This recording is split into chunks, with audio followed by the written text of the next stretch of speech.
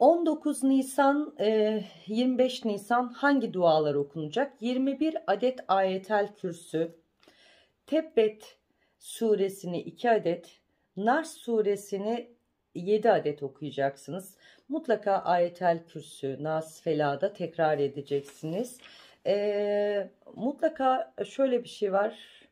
E, Kevser suresinde mutlaka ve mutlaka 21 adet bir suyun içerisine okuyun. Evinizde ne kadar kısmeti bağlı olan varsa, e, sınava girecek evladınız varsa mutlaka Kalem suresinde ekleyin sınava girecek evladınız varsa.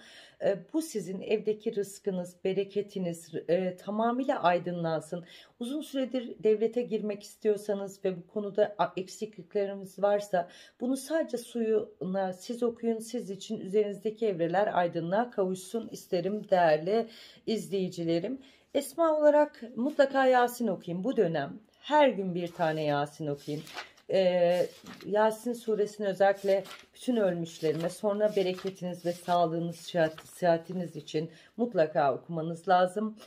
Ee, Esmail Hüsnalar ise Esselam mutlaka 99 adet okuyabilirsiniz. Ya Allah ya da Er Rahman mutlaka 101 adet okuyabilirsiniz.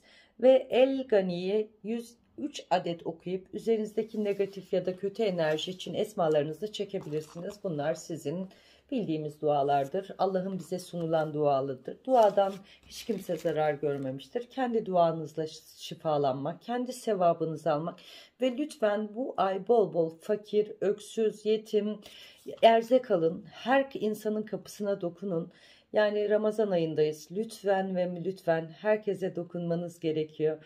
Yani hayvanları, doğadaki canlıları, yetim, öksüz e, mutlaka sadakanızı verin. Sadaka insanın şifasıdır. Lütfen şifanızı yapmayı unutmayın. Allah'a emanet olun. Yaşlı bakım evleri, kimsesiz çocukları, fakir kapılara lütfen e, dokunun istiyorum. Sevgiyle kalın. Allah'a emanet olun. Hoşçakalın.